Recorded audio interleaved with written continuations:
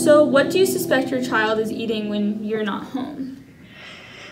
Cup of noodles, top ramen, chips, cookies, anything that's easy that they could either grab out of a bag or throw in the microwave. When I was in 10th grade, my health teacher assigned us all a TED Talk by Jamie Oliver to watch.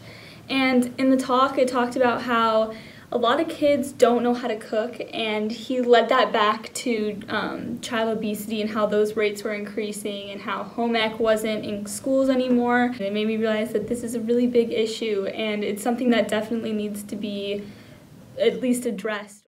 Child obesity is actually a topic that hits pretty close to home because someone I know um, actually died of a brain aneurysm that they led back to obesity. So I definitely saw this as an issue that needed to be solved.